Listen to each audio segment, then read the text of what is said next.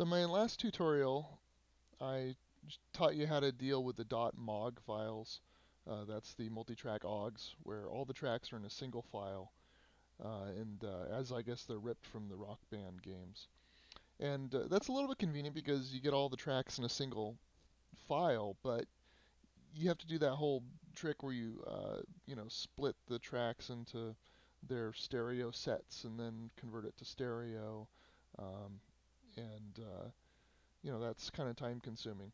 If you can get the tracks instead in these separated .ogg files, it's actually more convenient. I'm going to show you why that is.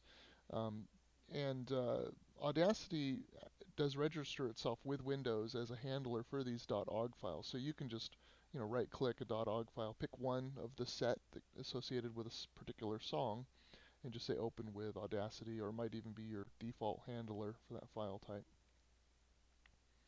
And that'll uh, create a new project, and it'll just have that one track. Now, in this case, it's a bass drum, but it's in stereo.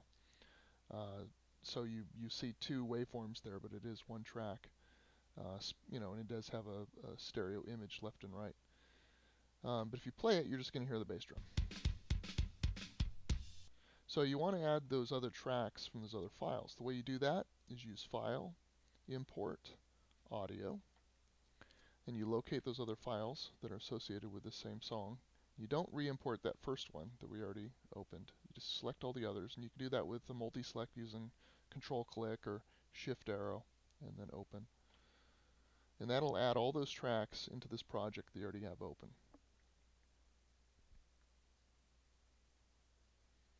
And then once you've done that, you can change the mix as far as the volume level between the different instruments. You can change the stereo panning. Um, you know, if you want to mute certain instruments, you can certainly do that. Just you know, isolate uh, different tracks or different sets of instruments. Um, so you know, generally this will sound pretty good just as it is, but you might want to adjust levels. Or just solo something, just maybe you know listen to it, or solo sets of tracks.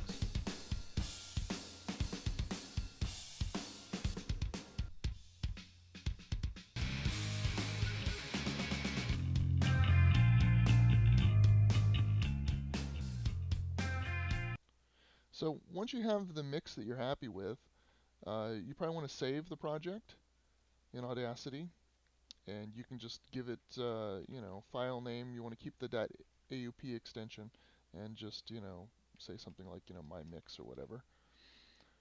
And that allows you to go back later and change your mix, you know, if there's something you want to adjust and you know with it. Um, but that's not a file that you can play on a CD player or MP3 player whatever. So if you want to uh, burn a CD or make an MP3 or any other format, you want to use the file export option. And then uh, you can choose your file format and your file name, and it'll mix it down to stereo for you and uh, give you something that you can play on your your other uh, media players or whatever. Um, again, this is uh, using the uh, version 1.3 of Audacity. I haven't had the uh, courage to try their version 2 yet, but this software is pretty great. And uh, I wanted to give a shout out to Andrew. Thanks for the files, and I hope this was helpful. That's it.